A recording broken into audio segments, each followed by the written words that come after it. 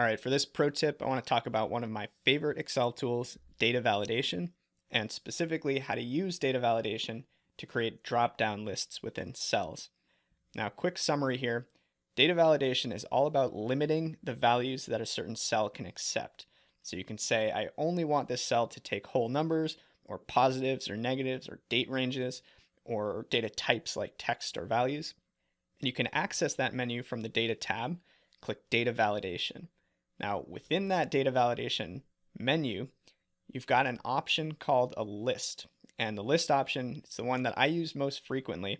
That's what's going to allow you to create that drop down menu containing a specific set of items. And you can either type those items directly in the dialog box separated by commas, or you can reference a cell range containing your list. Now, in this case here, we've manually typed them in. We've got three different values that this particular cell can take. 5%, 10%, or 20%. And when we press OK, it simply creates that dropdown containing those three items and those items only. Now you can also customize the input messages that users see when they select a cell with data validation or the error alerts that pop up if someone enters an invalid value. We're going to have some fun with that in the demo in just a minute. Now, common use cases, uh, for one, like I said, creating formula based models that have these variable controlled inputs. That's probably the most common use case for data validation list options.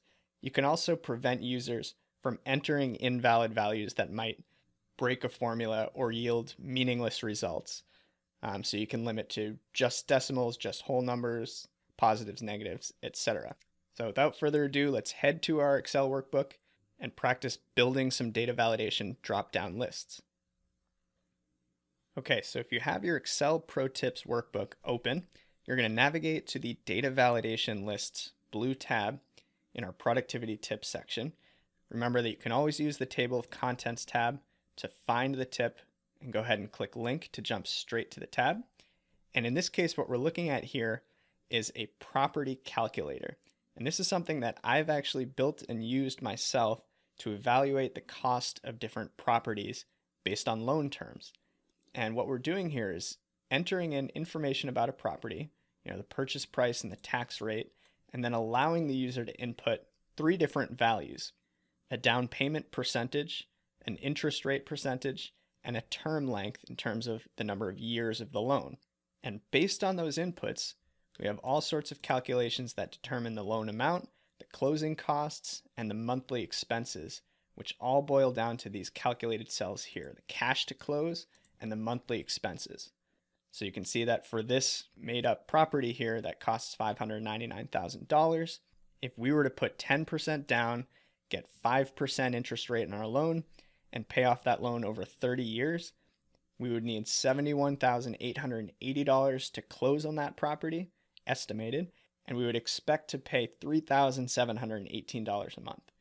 Now you can also see what happens if we change this to 20% down now you can see that our monthly payment is only 3,397, but we require more cash to close. So the bottom line is that we have these formula driven outputs based on these user determined inputs. So this is a great opportunity for us to use data validation to fix these inputs into certain categories or lists of values. So let's start with the down payment cell here. We're going to go into the data tab, data validation, and instead of allowing any value in that cell, we're going to allow a list. And again, we could have the list exist in cells somewhere and reference that cell range, or we can type them in right here. In this case, I'm going to type them in because we only have three values, 5%, 10%, or 20%. These are common down payment amounts. You can customize this however you see fit, but for now, let's stick with these three and press OK. Now, once we've done that, it's created this dropdown and now we have those three options and those three options only for that down payment percent cell. Let's go ahead and do the same thing for interest rate, data validation, list, and we'll create a range of realistic interest rates. Maybe it's 3%, 3.5%, 4%, 4.5%, and 5%. So these five values for this particular cell. Press OK, and there you go. And then last but not least, term length. Let's just do two term lengths here in a list, either a 15 year loan or a 30 year loan. So two items in that list, press OK. And now what we've done is created a fixed set of variable inputs that users can use to explore our different model outputs. And they can select any combination of those three values based on the guidelines that we've created using data validation. Now, last but not least, let's practice customizing some of those pop-up messages. So we can go back for a down payment cell, back into data validation. We've got these two additional tabs, input message and error alert. So the input message is going to show up once a user selects that cell. You can give it a title, like down payment, and a message, like select a value. Right? Press OK. And now when a user selects that cell, they're going to see that pop up that indicates to them, okay, this is a user input cell. I can click the drop down and select one of the values here. So certainly not necessary, but a nice option uh, to use if you'd like. Another one, which is really funny, is the error alert. And you can customize this however you see fit. You can change the style of the icon, like a warning sign, for instance.